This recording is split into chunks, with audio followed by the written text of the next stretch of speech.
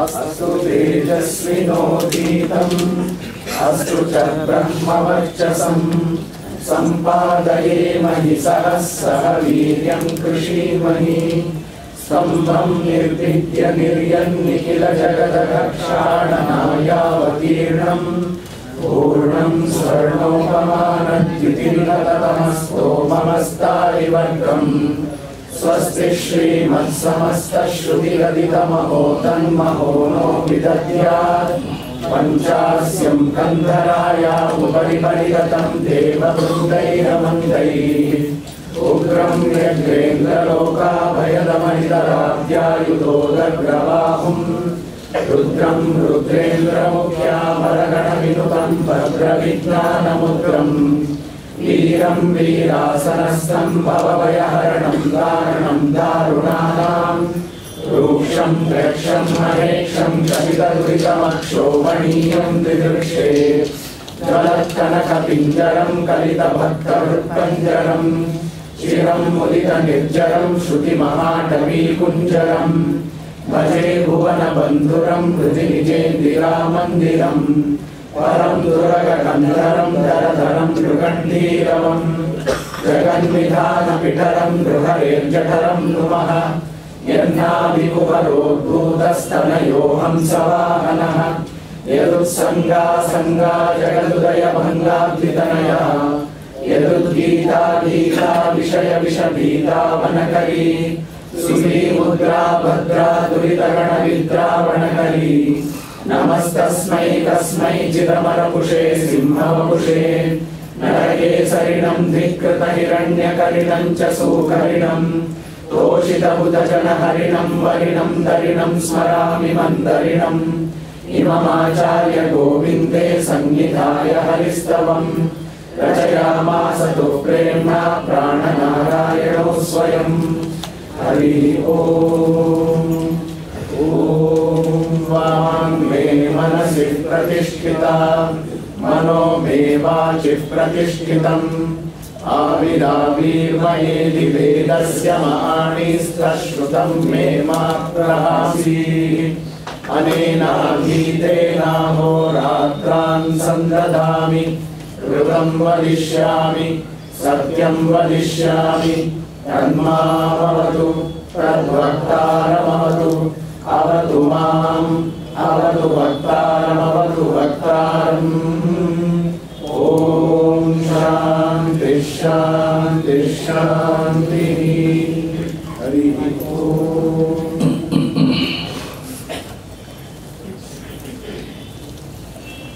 जयति पराशर सूनु सत्यवती हृदय नंदनो व्यास।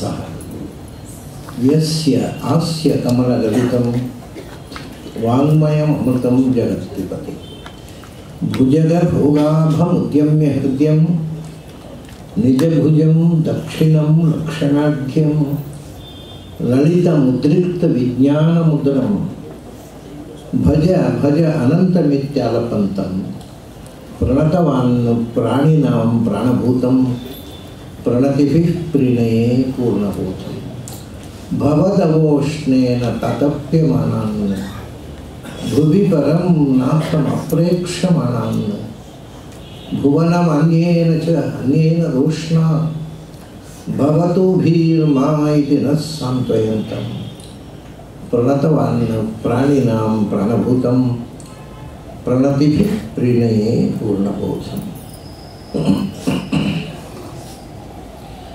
ನನ್ನ ಅಧ್ಯಾತ್ಮ ಬಂಧುಗಳೇ, ನಾವು ಅಧ್ಯಾತ್ಮ ಪ್ರಪಂಚದಲ್ಲೇ, ಉಪನಿಷತ್ ಪ್ರಪಂಚದಲ್ಲೇ ಅತ್ಯಂತ ಕ್ಲಿಷ್ಟವಾದ ಉಪಾಸನೆಯ ಭಾಗಗಳನ್ನು ನೋಡ್ತಾ ಇದ್ದೇವೆ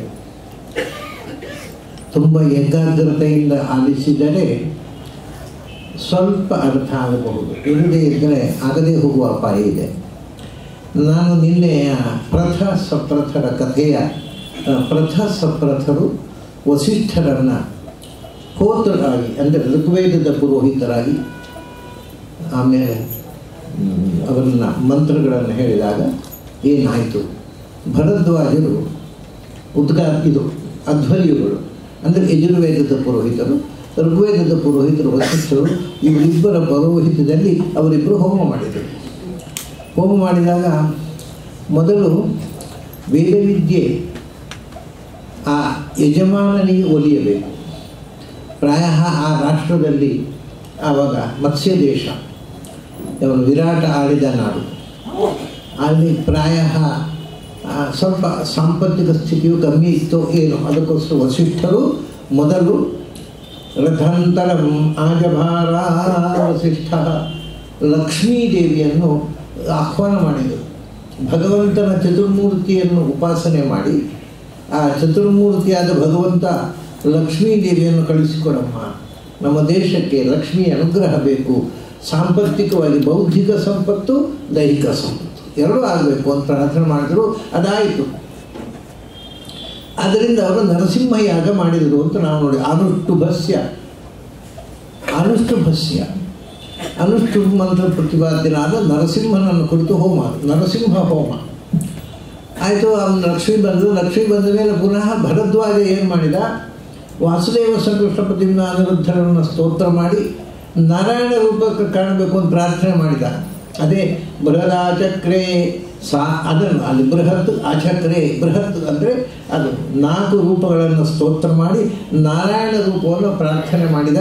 ಆವಾಗ ಅಗ್ನೇ, ಆ ಚತುರ್ಮೂರ್ತಿ ಅಂತ ಭಗವಂತನ ಅನುಗ್ರಹದಿಂದ ಬೃಹತ್ ಆಚಕ್ರೆ ಭರದ್ವಾಜೋ, ಬೃಹತ್ ಆಚಕ್ರೆ ಅಗ್ನೇ. ಚತುರ್ಮೂರ್ತಿಗಳು ಬಂದು ಅನುಗ್ರಹ ಮಾಡಿದ್ರು ನಾರಾಯಣ ರೂಪ ಅಲ್ಲಿ ಕಾಣಿಸಿಕೊಳ್ತು ಅವ್ರು ಎಲ್ಲರಿಗೂ ನಾಲ್ಕು ಮಂದಿಯು ನಾರಾಯಣ ರೂಪವನ್ನು ಕಂಡರು.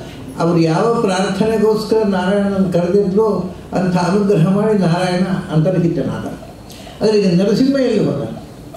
ಅವನು ಬರಲೇ ಇಲ್ಲ ಹೋಮ ಮಾಡಿದ ನರಸಿಂಹ ಸುದ್ದಿಯೇ ಬರಲಿಲ್ಲ. ಬರೀ ನಾರಾಯಣ ಬಂದ, ಬರೀ ಲಕ್ಷ್ಮೀ ಬಂದ ಲಕ್ಷ್ಮೀನಾರಾಯಣರು ಆಯಿತು. ಲಕ್ಷ್ಮೀನಾರಾಯಣರು ಹೋದ್ಮೇಲೆ ಮುಂದೆ ಏನಾಯಿತು? ಆ ಕಥೆ ಪೂರ್ಣ ಆಗಬೇಕಾದ್ರೆ ಇನ್ನೊಂದು ಶ್ಲೋಕ ಇದೆ. ಏನು ಅಂದರೆ ನನ್ನ ಮನಸ ದಿಧ್ಯಾನ ಮೊದಲು ಅವರು ಭಗವಂತನ ನಾಲ್ಕು ರೂಪಗಳನ್ನು ಕಂಡಿದ್ದಾರೆ.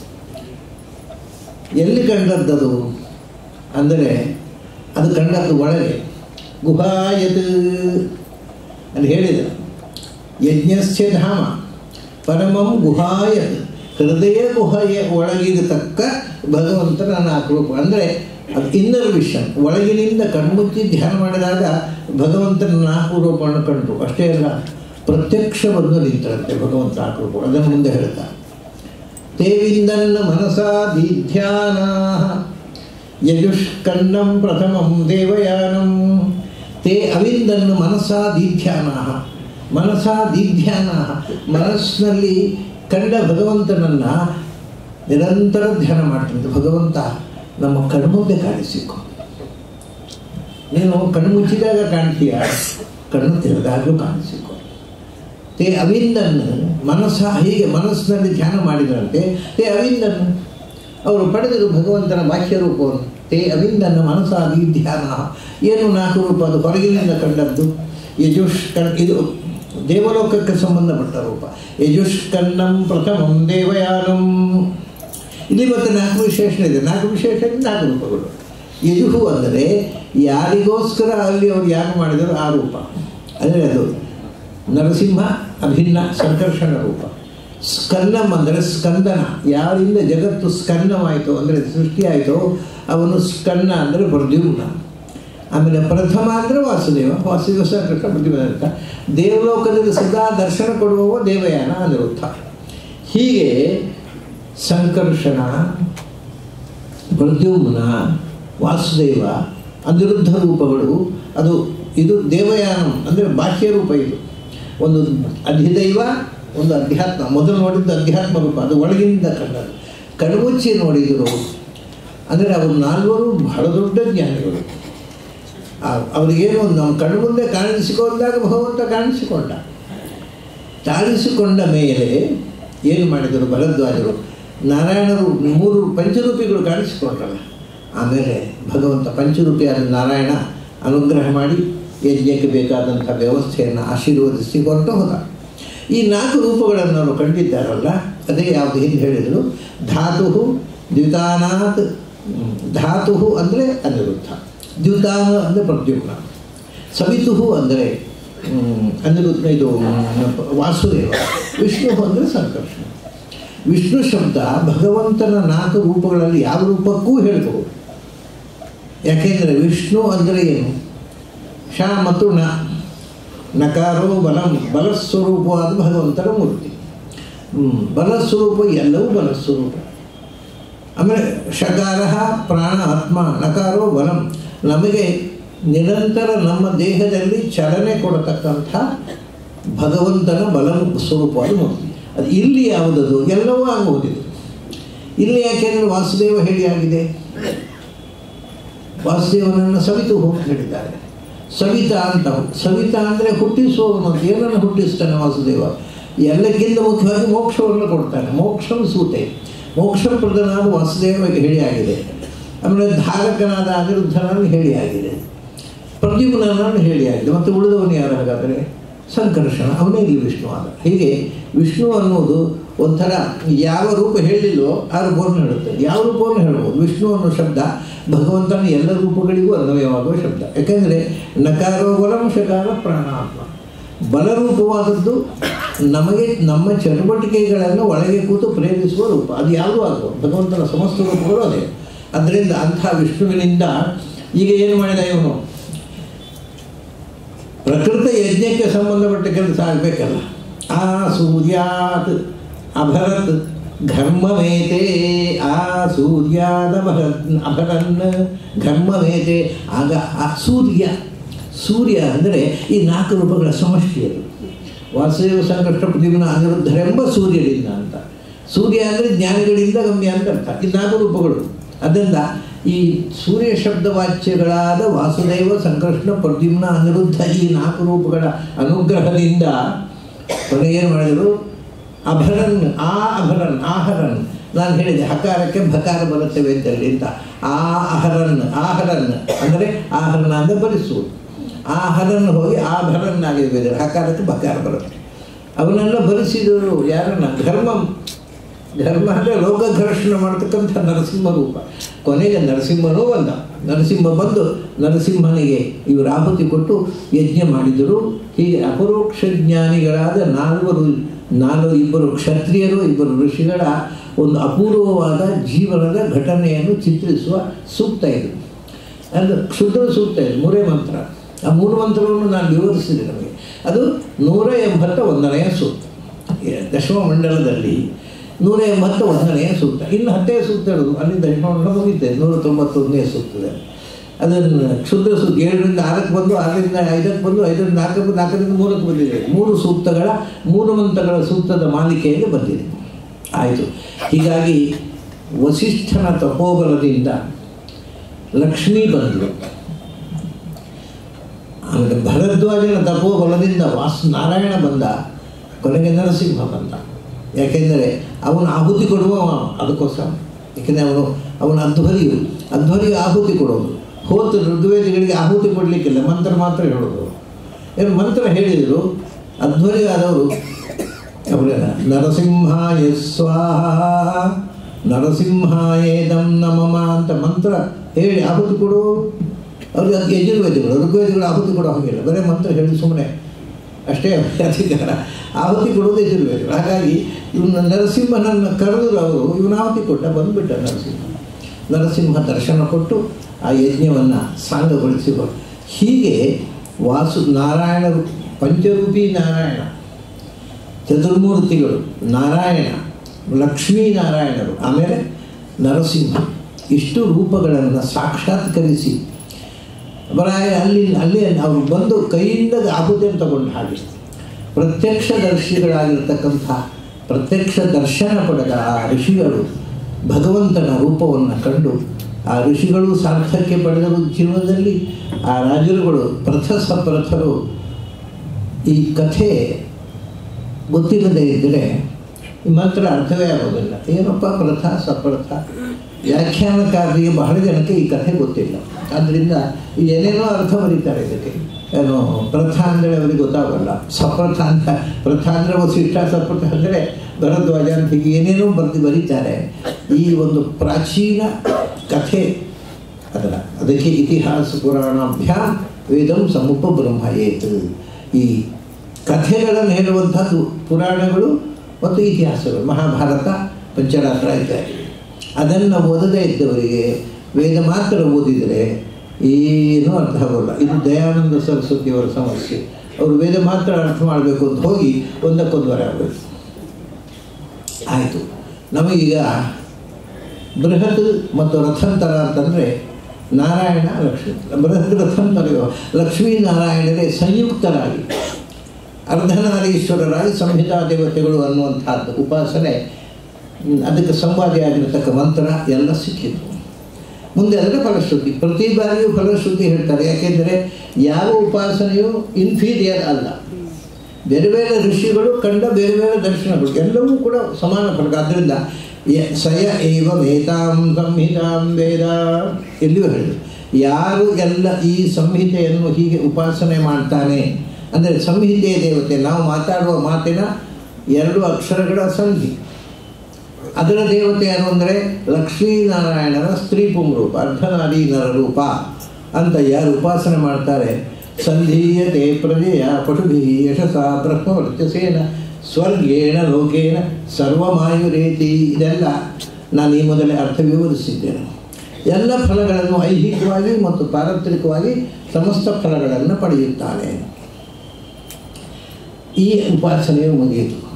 ಎಷ್ಟು ಬಗೆಯ ಸಂಹಿತ ಉಪಾಸನೆಗಳನ್ನ ಹಿಂದೆ ಅವರು ಸಾಧನೆಯಿಂದ ಕಂಡುಕೊಂಡರು. ಇದನ್ನು ತಿಳ್ಕೊಳ್ಳಿಕ್ಕೆ ಪಾಪ ತಾರುಕ್ಷ್ಯ ಒಂದು ವರ್ಷ ದನಕ ಆದದ್ದು ಉಂಟು. ಅಂದರೆ ಅವರಿಗೊಂದು ಛಲ ಇತ್ತು. ತಿಳಿದು ಬಿಡಬೇಕು ಅಂತ ತಿಳಿಯೋ ತನಕ ಬಿಡೋಲ್ಲ.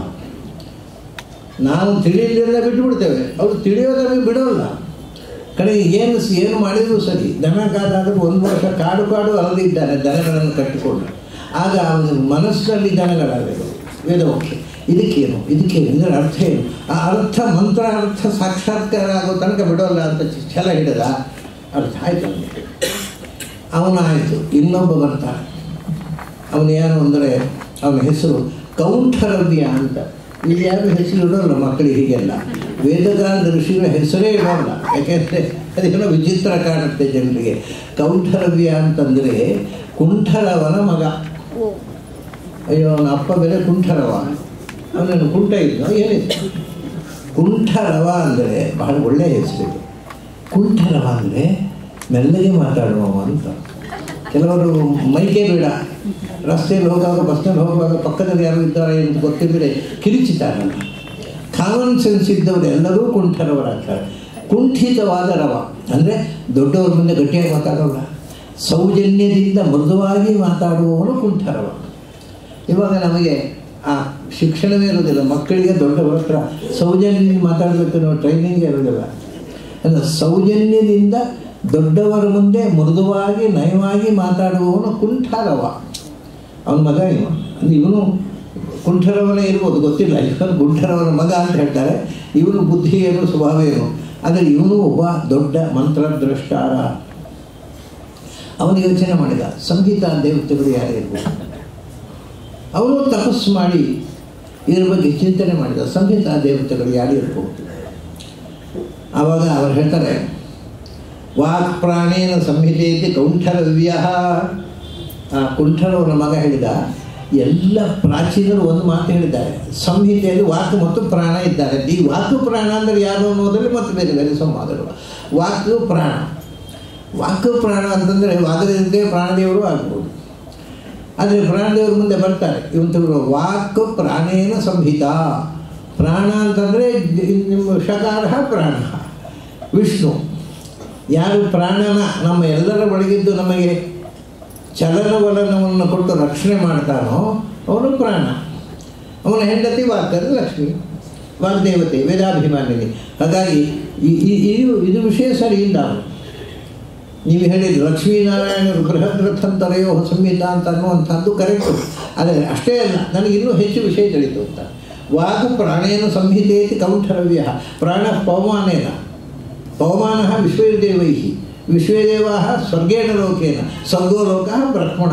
ಇದು ಇದು ಪಂಚ ಸಂಹಿತೆ ಒಂದರ ನಂತರ ಒಂದು ಐದು ಸಂಹಿತೆಗಳನ್ನು ಉಪಾಸನೆ ಇದು ಇವನದ್ದು ಆವಿಷ್ಕಾರ. ಕೌಂಠರವ್ಯ ತಪಸ್ಸು ಮಾಡಿದ ತಪಸ್ಸು ಮಾಡಿ ಅವನು ಕಂಡುಕೊಂಡ ಸತ್ಯ. ಏನು ಮಾ ವಾಕ್ ಪ್ರಾಣಾಯನ ಸಂಹಿತ. ಮೊದಲನೇ ಅಂಶ ಸರಿ. ಲಕ್ಷ್ಮೀನಾರಾಯಣರ ಸಂಯುಕ್ತ ರೂಪವೇ ಸಂಹಿತಾ ದೇವತೆ. ಆಚೆಯಿಂದ ಆಚೆಯಿಂದ ವರಾಹ ಇದ್ದಾನೆ ಈ ಕಡೆಯಿಂದ ವಾಮನ ಯಾರು? ಮಧ್ಯದಲ್ಲಿ ಇರುವ ಲಕ್ಷ್ಮೀನಾರಾಯಣರು ಲಕ್ಷ್ಮೀನಾರಾಯಣರ ಸಂಯುಕ್ತ ರೂಪ. ಅರ್ಧನಾರೀನಾರಾಯಣ ಅಲ್ಲಿಗೆ ಮುಗಿಲಿಲ್ಲ. ಆ ಸಂಹಿತಲ್ಲಿ ಇನ್ನೂ ನಾಲ್ಕು ರೂಪಗಳಿವೆ. ವಾ, ಈ ಸೈ ಜೋಡಿ ಆಯ್ತಲ್ಲ ಲಕ್ಷ್ಮೀನಾರಾಯಣರ ಜೋಡಿ. ಆಮೇಲೆ ಪ್ರಾಣ ಪವಮಾನೇನ. ಆಮೇಲೆ ಇನ್ನೊಂದು ಜೋಡಿ ಇದೆ. ಅದು ಹೇಗೆ ಹರಿಹರರ ಹಾಗೆ ಪ್ರಾಣವಾಯು ನಾರಾಯಣ ಮತ್ತು ವಾಯು. ಅರ್ಧ ನಾರಾಯಣ, ಅರ್ಧ ವಾಯು.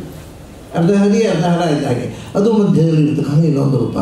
ಇದೆಲ್ಲ ಅವರು ಸಾಕ್ಷಾತ್ಕರಿಸಿ ಮಾಡೋದು ಇದೆಲ್ಲ ಏನು ಅಂದರೆ, ಯಾವುದೋ ಬುಕ್ಕಿಶ್ ನಾಲೆಜಿನಿಂದ ಪುಸ್ತಕ ಓದಿ ತಿಳಿಯುವಂತಹ ಸಂಗತಿಗಳಲ್ಲ. ಉಪಾಸನೆಯಿಂದ ಅವರು ಕಂಡುಕೊಂಡ ಸತ್ಯಗಳು. ಕಣ್ಮುಚ್ಚಿ ಧ್ಯಾನ ಮಾಡಿದರು. ಅವಾಗ ಅವರಿಗೆ ಆ ಸಂಹಿತೆಯಲ್ಲಿ ಇನ್ನೊಂದು ರೂಪ ಕಂಡಿತು. ಯಾವುದದು? ಅರೆ, ಅರ್ಧ ಪ್ರಾಣದೇವರು, ಅರ್ಧ ನಾರಾಯಣ. ಅರ್ಧ ಹರಿ ನಾರಾಯಣ. ಅರ್ಧ ಪ್ರಾಣ, ಅರ್ಧ ನಾರಾಯಣ. ಅದು, ಅದನ್ನು ಹೇಳಿದ್ರು. ಪ್ರಾಣ ಪವಮಾನೇನ. ಪವಮಾನ ಅಂದರೆ ವಾಯುದೇವರು. ಪವಮಾನ ಮಂಡಲ. ಪವಮಾನ. ಆಯಿತು. ಮತ್ತು ಅದು ಕಡಿತಾಗ ಅಲ್ಲಿ. ಮಧ್ಯದಲ್ಲಿ ಜೋಡಿ ರೂಪ ಇದೆ. ನಾರಾಯಣ ಪ್ರಾಣ. ಪ್ರಾಣ ನಾರಾಯಣರ ಸಂಯುಕ್ತವಾದ ರೂಪ ಮಧ್ಯದಲ್ಲಿದೆ. ಅದರ ಆಚೆ ಈಚೆ ಎರಡು ಅಕ್ಷರಗಳಿವೆ. ಆ ಮಧ್ಯ ಅಂತಂದರೆ ಆ ಸಂಧಿ. ಇವಾಗ ನಾವು ಎರಡು ಅಕ್ಷರಗಳನ್ನು ಒಟ್ಟು ಹೇಳಿದಾಗ ತಾನೇ ಅರ್ಥ ಬರೋದು. ಆ ಒಟ್ಟು ಹೇಳಬೇಕೇ ಸಂಧಿ. ಈಗ ಪ್ರಾ ಹೇಳೋದು. ಮತ್ತೊಂದು ಗಂಟೆ ಬಿಟ್ಟು ನಹ ಅಂತ ಹೇಳಿದ್ರೆ ಏನಾದ್ರು ಅರ್ಥ ಆಗುತ್ತಾ? ಆ ಎರಡು ಅಕ್ಷರಗಳನ್ನು ಒಟ್ಟಿಗೆ ಸೇರಿಸುವಿಕೆ ಉಂಟಲ್ವಾ? ಆ ಸೇರಿಸುವಿಕೆಯಲ್ಲಿ ನಾರಾಯಣ ಪ್ರಾಣನಾರಾಯಣರಿದ್ದಾರೆ ಆ ಸಂಹಿತೆಯಲ್ಲಿ. ಪ್ರಾಣ ಪ್ರಾಣ ಪವಮಾನೇನ. ನಾರಾಯಣನ ಜೊತೆಗೆ ಪವಮಾನ ವಾಯುದೇವರಿದ್ದಾರೆ ಎರಡನೇದ್ದಾಯಿತು ಅವನು ಅಲ್ಲಿಗೆ ಬಿಡಲಿಲ್ಲ. ಆ ಮುಂದೆ ಏನಿದೆ ಆ ಸಂಹಿತೆಯಲ್ಲಿ? ಇಷ್ಟೇ ಇರೋದ ಇಲ್ಲ. ಪವಮಾನ ವಿಶ್ವೈ ದೇವೈ ಪ್ರಾಣದೇವರ ಜೊತೆಗೆ ಎಲ್ಲ ದೇವತೆಗಳು ಇದ್ದಾರೆ. ಅವನ ಧ್ಯಾನ ಮುಂದುವರಿಸುವ ಕಂಡ ಸತ್ಯ. ಪ್ರಾಣದೇವರ ಜೊತೆಗೆ ಎಲ್ಲ ದೇವತೆಗಳು ಎಲ್ಲ ದೇವತೆಗಳು ಅಂದರೆ ವಿಷ್ಣು ಹೇಳಿ ಆಗಿದೆ, ಲಕ್ಷ್ಮಿ ಹೇಳಿ ಆಗಿದೆ, ಪ್ರಾಣದೇವರನ್ನು ಹೇಳಿ ಆಯಿತು. ಆಮೇಲೆ ಮುಂದೆ ಬರ್ತಾರೆ ಶಿವ ಮತ್ತು ಬ್ರಹ್ಮ. ಈ ಐದು ಜನರನ್ನು ಬಿಟ್ಟು ಎಲ್ಲ ದೇವತೆಗಳು ವಿಶ್ವದೇವಿ ಏನು ಬೇರೆ ಹೇಳಿದ್ದನ್ನು ನೀವು ಇಲ್ಲಿ ಸೇರಿಸ್ಕೋಬಾರದು. ಅಂದರೆ ಬ್ರಹ್ಮ, ಶಿವ, ವಿಷ್ಣು, ಆಮೇಲೆ ವಾಯು, ಲಕ್ಷ್ಮಿ. ಈ ಐದು ದೇವತೆಗಳನ್ನು ಬಿಟ್ಟು ಉಳಿದ ಎಲ್ಲ ದೇವತೆಗಳು ಒಂದು ಬದಿಯಲ್ಲಿದ್ದಾರೆ ಇವರೆಲ್ಲ ಪ್ರಾಣದೇವರು ಇವರ ಜೋಡಿ ಸಮಸ್ತ ದೇವತೆಗಳು ಆ ಸಂಧಿ ಸ್ಥಾನದಲ್ಲಿ ಕೂತದ್ದನ್ನು ಅವನು ಕಂಡ. ಒಂದು ಒಂದು ಸಂಹಿತೆಯಲ್ಲಿ ಎಷ್ಟು ವಿರಾಯಿತಿ ಇದೆ. ಪ್ರಾಣ ವಿಶ್ವೈಹಿ ದೇವೈಹಿ. ಎಲ್ಲ ದೇವತೆಗಳು ಎಲ್ಲ ದೇವತೆಗಳು ಇದೆ ಇಷ್ಟು ಐದು ಜನರನ್ನು ಬಿಟ್ಟು. ಪಂಚ ಸಂಹಿತೆಯಲ್ಲಿ ಪಂಚ ದೇವತೆಗಳನ್ನು ಬಿಟ್ಟು ಸಂಹಿತೆ. ಸರ್ವ ದೇವತೆಗಳು, ವಿಶ್ವ ದೇವತೆಗಳು ಅಂದರೆ ಹತ್ತು ಜನ ವಿಶ್ವ ದೇವತೆಗಳಲ್ಲ.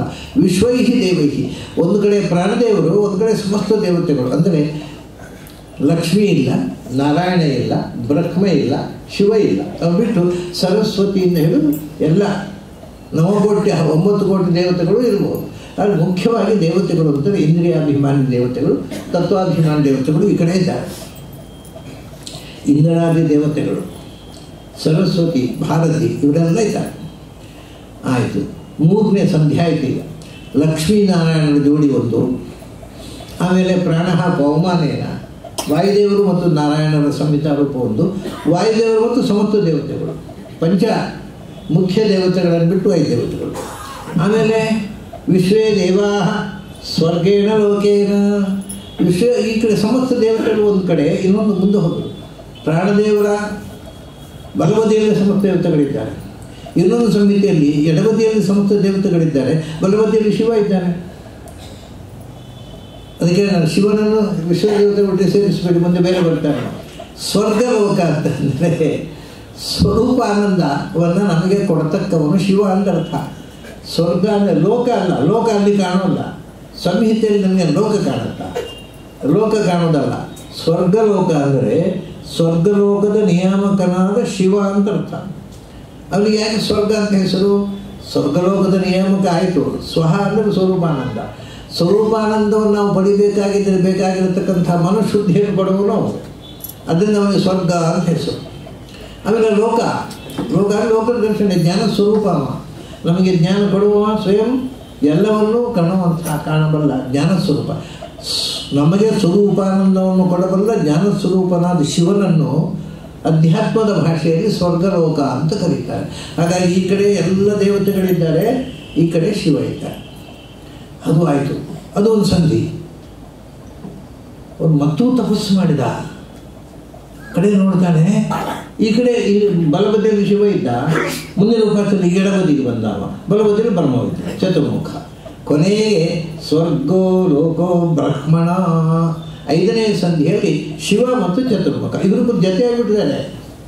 ಹರಿಗೆಲ್ಲ ಹಾಗೆ ಎಲ್ಲ ಜೋಡಿ. ಈ ಪಂಚ ಸಂಹಿತೆಯನ್ನು ಅವನು ಕಂಡ. ಕುಂಠರವನ ಮಗ ಕೌಂಠರವ್ಯ ಅವನು ಕುಂಠರವಾತ್ಮಜ ಅಂತ ಶಾಸ್ತ್ರಕಾರ ಹೇಳ್ತಾರೆ. ಕೆಲವೊಮ್ಮೆ ತಂದೆ ಬಹಳ ಪ್ರಸಿದ್ಧನಾಗಿಬಿಟ್ರೆ ಮಕ್ಕಳಿಗೆ ಭಾರಿ ಅಪಾಯ. ಅವು ಯಾರು? ಅವ್ನು ಇಂಥವ್ರ ಮಗ ಅಂತ. ಅವ್ನಿಗೆ ರಿಕಾಗ್ನಿಷನ್ ಇಲ್ಲ. ಅಪ್ಪನದೇ ರಿಕಾಗ್ನಿಷನ್ ಅವನು ಇಂಥವ್ರ ಮಗ ಅಂತ. ಹಾಗೆ ಕುಂಠರವ ಬಹಳ ದೊಡ್ಡ ತಪಸ್ವಿ ಆದ್ದರಿಂದ ಇವನೇ ಅವನು ಕುಂಠರವ್ರ ಮಗ. ಅಲ್ಲಪ್ಪ, ಅವನ ಹೆಸರೇನು ಗೊತ್ತಿಲ್ಲ. ಕುಂಠರವರ ಮಗ. ಆದರೆ ಕುಂಠನವು ಕೂಡ ಬಹಳ ದೊಡ್ಡ ಉಪಾಸಕ. ಅವನ ಮಗ ಕೂಡ ಸಾಮಾನ್ಯ. ಈ ಪಂಚಸಂಗೀತೆಯನ್ನು ಕಂಡವನು ಒಂದು ಅಕ್ಷರದ ಜೋಡಣೆಯಲ್ಲಿ ಭಗವಂತನ ಪಂಚವಿಧವಾದಂತಹ ಒಂದು ಆವಿಷ್ಕಾರ. ಲಕ್ಷ್ಮೀನಾರಾಯಣರು ಒಂದು ಜೋಡಿ, ಪ್ರಾಣನಾರಾಯಣರು ಒಂದು ಜೋಡಿ, ಪ್ರಾಣ ಮತ್ತು ವಿಶ್ವೇ ದೇವತೆಗಳು ಒಂದು ಜೋಡಿ ವಿಶ್ವೇ ದೇವತೆಗಳು ಮತ್ತು ಶಿವ ಒಂದು ಜೋಡಿ, ಶಿವ ಮತ್ತು ಬ್ರಹ್ಮ ಒಂದು ಜೋಡಿ. ಈಗ ಐದು ಸಂಹಿತೆಗಳನ್ನು ಒಂದು ಅಕ್ಷರದ ಸಂಯೋಜನೆಯಲ್ಲಿ ಕಾಣಬೇಕಾಗಿದ್ದರೆ ಅವನ ಯಾವ ಮಟ್ಟದಲ್ಲಿ ಅವನು ಚಿಂತನೆ ಮಾಡಿರಬೇಕು ನಮಗೆ ಬಹಳ ಅದ್ಭುತವಾದ ಒಂದು ಉಪಾಸನೆ ಇದು, ಸಂಹಿತ ಉಪಾಸನೆ. ಈ ಉಪನಿಷತ್ತಿನಲ್ಲಿ ಅಲ್ಲದೆ ಬೇರೆ ಎಲ್ಲೂ ಇಂಥ ಉಪಾಸನೆ ಬರೋಲ್ಲ. ಸಂಹಿತ ಉಪಾಸನ. ಐದು ರೂಪಗಳನ್ನು ಕಂಡ. ಇದಕ್ಕೊಂದು ವಿಶೇಷ ಇದೆ. ಏನು? ಸೈಷ ಅವರ ಬರ ಸಂಹಿತ ಅಂತ. ಈ ಸಂಹಿತೆಗೆ ಅವರ ಬರ ಸಂಹಿತ ಅಂತ. ಅಂದರೆ ಮೊದಲು ಹೇಳುವವರು ಅವರರು. ಮತ್ತೆ ಹೇಳುವವರು ಉತ್ಕೃಷ್ಟ. ಹಾಗೆ ಹೋಗುತ್ತೆ. ಶುರು ಹೇಳುವುದು ಯಾರನ್ನ? ಲಕ್ಷ್ಮಿ. ಅದರ ನಂತರ ನಾರಾಯಣ ಬಂದ. ಪರ ಬಂದ, ಅವನಿಂದ ಪರ ಬಂದ. ಕೊನೆಗೆ ಬರುವುದು ಶಿವ ಮತ್ತು ಬ್ರಹ್ಮ ಬ್ರಹ್ಮ ಶಿವನ ತಂದೆ. ಸೊ ಅವರಲ್ಲಿ ಬ ಸೊ ಅವರಿಂದ ಪ್ರಾರಂಭ ಆಗಿ ಶ್ರೇಷ್ಠರಲ್ಲಿ, ಉತ್ತಮರಲ್ಲಿ ಮುಕ್ತಾಯಗೊಳ್ಳುವುದರಿಂದ ಇದು ಅವ ಪರ ಅವರ ಅಲ್ಲ. ಪರದಿಂದ ಶುರುವಾಗಿ ಅವರ ಕೊನೆ ಅವರದಿಂದ ಶುರುವಾಗಿ ಪರದಲ್ಲಿ ಕೊನೆಗೊಳ್ಳುತ್ತೆ. ಅದರಿಂದ ಶೈಷ ಅವರ ಪರ ಸಂಹಿತ. ಇದಕ್ಕೆ ವೇದಕಾಲದ ಹೆಸರು ಅವರ ಪರ ಸಂಹಿತೆ ಅಂತ. ಯಾರ ಪರ? ಅವರ ಪರ. ಅವರ ಪರ ಸಂಹಿತ. ಮೊದಲು ಅವರ ತತ್ವದಿಂದ ಪ್ರಾರಂಭವಾಗಿ ಉಚ್ಚ ತತ್ವಕ್ಕೆ ಹೋಗುತ್ತೆ ಇದು ಎಲ್ಲ ಕಡೆ ಹೀಗಿಲ್ಲ. ನೋಡಿ, ಅದು ಚೇಂಜ್ ಆಗ್ತಾ ಹೋಗುತ್ತೆ. ಮೊದಲು ಅವರದಿಂದ ಪರಕ್ಕೆ ಬಂತು. ಎರಡನೇದು ಪ್ರಾಣ ಬಹುಮಾನ್ಯ ಅಲ್ಲಿ ಪರ ಮೊದಲು ಬಂತು. ನಾರಾಯಣ ಬಂತು, ಮತ್ತೆ ಅವರ ಬಂತು. ಮೂರನೇದರಲ್ಲಿ ಅವರ ಪ್ರಾಣ ಮುಖ್ಯ ಆದ ವಿಶ್ವದೇವತೆಗಳು ಅನಂತರದವರು ಅವರಾದರು ಅದರ ನಂತರ ವಿಶ್ವದೇವತೆಗಳು ಮುಖ್ಯ ಆದರು ಸ್ವರ್ಗಲೋಕ, ಶಿವ. ಶಿವ ಎಡಕ್ಕೆ ಬಂದ ಬ್ರಹ್ಮ ಹೀಗೆ ಅವರ ಪರ ಅವರ ಪರ. ಹೇಳ್ತಾ, ಅವರದಿಂದ ಪ್ರಾರಂಭವಾಗಿ ಪರದಲ್ಲಿ ಕೊನೆಗೊಳ್ಳುವ ಸಂ ಸೈಷ ಅವರ ಪರ ಸಂಹಿತ. ಇದನ್ನು ಬಹಳ ಮಹತ್ವ, ಯಾಕೆಂದರೆ ಕೌಂಠರವ್ಯ ಕಂಡದ್ದು ಸಾಮಾನ್ಯ ಸಂಗತಿ ಅಲ್ಲ ಈ ಉಪಾಸನೆಯೇ ಒಂದು ಅದ್ಭುತ. ಅದನ್ನು ಯೋಚನೆ ಮಾಡೋದೇ ಒಂದು ಅದ್ಭುತ. ನಮಗೆ ಕಲ್ಪನೆ ಮಾಡೋದೇ ಸಾಧ್ಯ ಇಲ್ಲ. ಹೀಗೆ ಒಂದು ಸಂಧಿಯಲ್ಲಿ ಇಷ್ಟು ದೇವತೆಗಳಿರಬೇಕು ಅದನ್ನು ಸಾಧನೆ ಮಾಡಿ ಆ ರೂಪಗಳನ್ನು ಸಾಕ್ಷಾತ್ಕರಿಸಿಕೊಂಡು ನಾವು ಅದನ್ನು ಉಪಾಸನೆ ಮಾಡಿ ನಮ್ಮ ಮುಂದೆ ಕೊಟ್ಟ ಅಲ್ಲ. ಎಂಥ ದೊಡ್ಡ ಉಪಕಾರ ಇದು. ತಮಾಷೆಯನ್ನು ನಾವು ಕೊಟ್ಟ ಅಂತೂ ನಮ್ಗೆ ಗೊತ್ತಿಲ್ಲ. ನಾವು ನೋಡಲಿಕ್ಕೆ ಹೋಗಿಲ್ಲ. ಆದರೆ ನೋಡಲಿಕ್ಕೆ ಹೋದರೆ ಅದನ್ನು ಅರ್ಥ ಮಾಡಿಕೊಂಡ್ರೆ ವಾಟ್ ಎ ಗ್ರೇಟ್ ಕಾಂಟ್ರಿಬ್ಯೂಷನ್ ಏನು ಅದ್ಭುತವಾದ ಕೊಡುಗೆ. ಅವರೆಲ್ಲ ಏನು ಅನುಕೂಲತೆ ಇತ್ತು ಅವಾಗ? ಏನು ಅನುಕೂಲತೆ ಇದ್ದದ್ರಿಂದ ತಿಳಿತವರಿಗೆ ಈಗ ಅನುಕೂಲತೆ ಇದ್ದಿದ್ದರೆ ಇದು ಯಾವುದೂ ತಿಳಿತಿರಲಿಲ್ಲ. ಮನೆಯಿಂದ ಶಾಲೆ ಹೋಗಲಿಕ್ಕೂ ಕಾರು ಶಾಲೆನಲ್ಲೂ ಕಾರು, ಶಾಲೆಯಲ್ಲಿ ಏನಿಲ್ಲ, ಹರಟೆ ಹೊಡೆಯೋದಕ್ಕೆ ಅದು ಕಷ್ಟಪಟ್ಟು ಕಲಿತರು ಅದರಿಂದ ಅವರಿಗೆ ಇಂಥದ್ದೆಲ್ಲ ತಿಳಿ ಈಗ ಅನುಕೂಲತೆ ಹೆಚ್ಚಾಯಿತು, ತಿಳುವಳಿಕೆ ಕಮ್ಮಿ ಆಯಿತು. ಈ ತಮಾಷೆ ಏನು ಅಂದರೆ, ಈ ಬಾ, ನಾನು ನನ್ನ ಜೀವನದಲ್ಲಿ ಕಂಡದ್ದು, ನಾನು ಚಿಕ್ಕವನಿದ್ದಾಗ ಉಡುಪಿಯಲ್ಲಿ, ಬೆಂಗಳೂರಿನ ಕಥೆ ಗೊತ್ತಿಲ್ಲ ನಾನು ಉಡುಪಿಯಲ್ಲಿ ಕಾಲೇಜಿಗೆ ಹೋಗುವವರು B A M M M A ಇರಲಿಲ್ಲ ಉಡುಪಿಯಲ್ಲಿ. ಅವರು ಮುಂಡು ಉಟ್ಟುಕೊಂಡು ಹಂಗೆ ಹಾಕ್ಕೊಂಡು ಹೋಗ್ತಿದ್ರು. ಆಮೇಲೆ ಮಕ್ಕಳು ತಿಪ್ಪರ್ಲಾಗ ಹಾಕಿದ್ರೆ ಮುನ್ನೋಡೋಲ್ಲ ಪ್ಯಾಂಟೇ ಬೇಕು ಅಂತ ಆಯಿತು. ಈಗ ಪ್ಯಾಂಟ್ ಇಲ್ಲದೆ ಯಾರು ಕಾಲೇಜಿಗೆ ಹೋಗೋದಿಲ್ಲ ಪ್ಯಾಂಟ್ ಬಂತು. ಮೊದಲು ಸೈಕಲ್ನಲ್ಲಿ ಹೋಗ್ತಿದ್ರು ಆಮೇಲೆ ಸಿಟಿ ಬಸ್. ಈಗ ಬೈಕೇ ಬೇಕು ಅಂದರೆ ಅದು ಪ್ಯಾಂಟು ಅನ್ನೋದು ಒಂದು ಅಸಖ್ಯವಾದ ವಸ್ತು. ಅದು ಬ್ರಿಟಿಷರನ್ನು ಅನುಕರಣೆ ಮಾಡುವುದಕ್ಕೆ ನಾವು ನಾವು ಸ್ವಂತಿಕೆ ಇಲ್ಲದವರು ಅಂತ ಹೇಳುವ ಒಂದು ವಸ್ತು ಅದು. ಅದಕ್ಕೆ ಯಾಕೆ ಅಷ್ಟು ಮಹತ್ವ?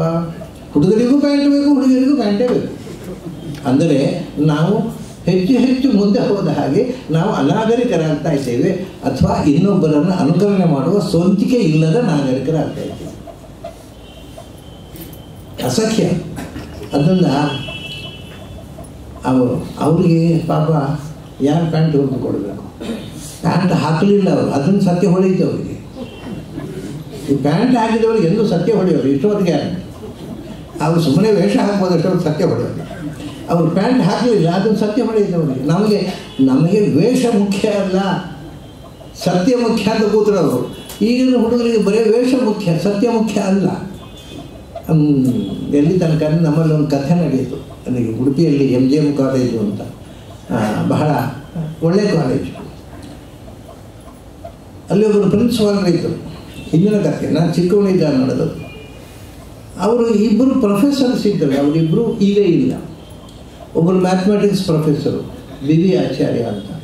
ಮತ್ತೊಬ್ಬರು ಫಿಸಿಕ್ಸ್ ಪ್ರೊಫೆಸರ್ ಅವರು ಯು ಎಲ್ ಆಚಾರ್ಯ ಅಂತ ಇಬ್ಬರು ಆಚಾರ್ಯ ಅಂತ. ಗೊತ್ತಾಯ್ತು ಇಬ್ಬರು ಬ್ರಾಹ್ಮಣರು. ಅವರು ಏನು ಅಂದರೆ, ಅವರು ಕಾಲೇಜಿನಲ್ಲೇ ಹೆಚ್ಚು ಜನಪ್ರಿಯರಾದ ಪ್ರೊಫೆಸರ್ಸ್ ಇಬ್ಬರು ಹೆಡ್ ಆಫ್ ದ ಡಿಪಾರ್ಟ್ಮೆಂಟ್ ಆದರೆ ಅವರು ಇಡೀ ಜೀವನದಲ್ಲಿ ಪ್ಯಾಂಟ್ ಹಾಕಲಿಲ್ಲ. ವಿ ವಿ ಆಚಾರ್ಯರು ಒಂದು ಮುಂಡು ಉಟ್ಕೊಂಡು ಬಂದರು ಇವೆಲ್ಲ ಆಚಾರ್ಯ ಇಬ್ಬರು ಎರಡು ಮುಂಡು ಉಟ್ಕೊಂಡು ಒಂದು ಕದ್ದರ್ ಅಂಗಿ ಹಾಕೊಂಡ್ರು ಬಂದರು ಶಾಲೆಗೆ ಒಂದು ಕತೆ ನಡೆಯಿತು ಆವಾಗ ಅಲ್ಲಿ ಪ್ರಿನ್ಸಿಪಾಲ್ ಇದ್ದವರು, ಓ, ಅವರನ್ನು ಕರೆದು, ನೋಡಿ you should follow some uniformity ನಾವು ಎಲ್ಲ ಯೂನಿಫಾರ್ಮಿಟಿ ಅಂದರು ನೀವು ಎಲ್ಲ ಪ್ಯಾಂಟ್ ಹಾಕೊಂಡು ಬರಬೇಕು ಅಂದರು ಅದಕ್ಕೆ ಅವ್ರು ಏನು ಹೇಳಿದ್ರು ಗೊತ್ತಾ? ನಿಮಗೆ ಜ್ಞಾನಕ್ಕಿಂತ ಪ್ಯಾಂಟ್ ಮುಖ್ಯ ಆದರೆ ಪ್ಯಾಂಟ್ ಹಾಕೋರಿಗೆ ಅಪಾಯಿಂಟ್ ಮಾಡಿ ನಾವು ಡಿಸೈಡ್ ಮಾಡಿ.